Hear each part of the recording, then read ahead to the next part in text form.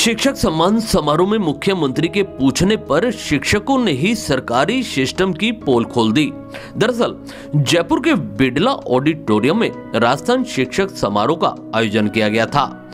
इस समारोह में प्रदेश के कई जिलों से शिक्षकों को बुलाया और इस अवसर पर खुद मुख्यमंत्री अशोक गहलोत और शिक्षा मंत्री गोविंद डोटासरा मंच पर पहुँचे। लेकिन मंच पर जो हुआ, उसकी किसी ने कल्पना भी नहीं की थी।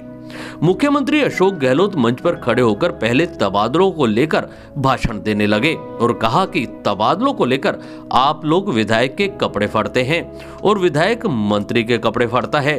क्या तबादलों के लिए पैसे देने पड़ते हैं?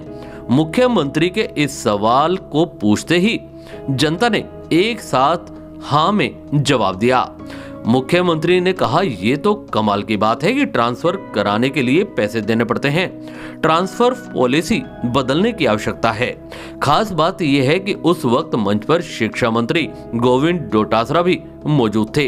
हालाँकि उसके बाद डोटासरा ने सफ़ाई देने की कोशिश की तो मुख्यमंत्री अशोक गहलोत ने बाद में इस विषय पर बात करने की बात कहकर टाल दिया।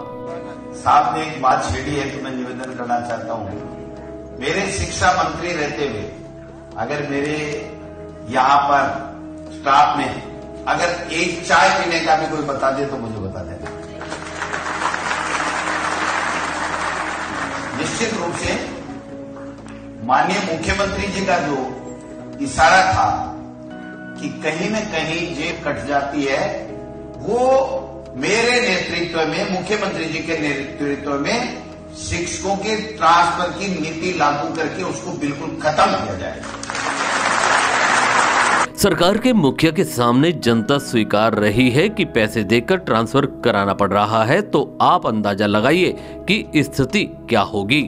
मुख्यमंत्री अशोक गहलोत ने भाषण में साफ़ कर दिया कि मंत्रिमंडल विस्तार जल्द होगा और उसमें शिक्षा मंत्री के पद से डोटासरा को हाथ धोना पड़ेगा। इसलिए गहलोत ने भाषण में यहाँ तक कह दिया कि मेरे लिए तो मंत्री जी ने कुछ छोड़ा ही नहीं बोलने के लिए और विदाई समारोह भी रखवा लिया। बार तो पैसे गिराने पड़ते हैं। हाँ बताओ सही बात है नहीं, मुझे नहीं मानू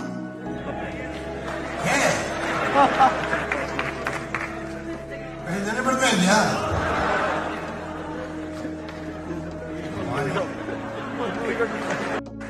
और हम सुनते हैं कि ये बार तो पैसे गिराने पड़ते हैं।